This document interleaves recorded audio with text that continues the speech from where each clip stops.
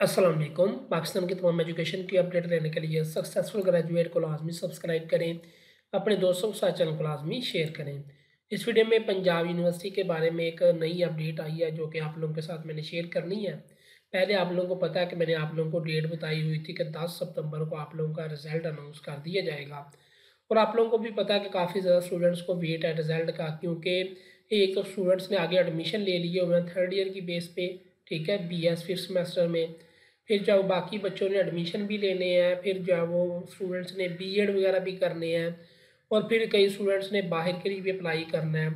तो रिज़ल्ट का काफ़ी ज़्यादा स्टूडेंट्स को वेट है। तो पंजाब यूनिवर्सिटी के बारे में जो नई अपडेट आई है, वो मैं आप लोगों को बता देता हूँ। आगे भी ऐसी जो है वो चीज़ें होती रहती हैं तो इसलिए आप लोगों को परेशान होने की ज़रूरत नहीं है।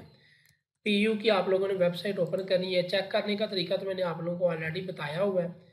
तो बाकी ये है कि आप लोगों के जो रिज़ल्ट है ना B A B S C A D P के, वो अब अनाउंस किए जाएँगे सेकंड वीक तक। ठीक है? यानी कि सेकंड वीक में आप लोगों के जो रिज़ल्ट है, वो अनाउंस होंगे। ऑलमोस्ट नौ सितंबर से लेकर चौदह सितंबर, पंद्रह सितंबर तक। ठीक है? इसके अंदर अंदर आप लोगों के रिज़ल्ट अनाउंस होगा।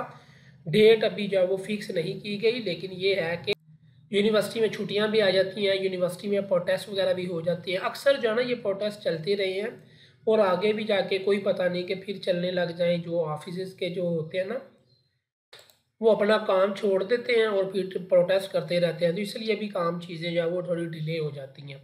बाकी ये है कि सेकंड वीक में एक्सपेक्टेड है कि आप लोगों का जो रिज़ल्ट है वो अनाउंस कर दिया जाएगा B A B S C D P part one part two annual twenty twenty four Punjab university का। मजीद अपडेट्स के लिए चैनल को सब्सक्राइब करें। अल्लाह हाफिज़।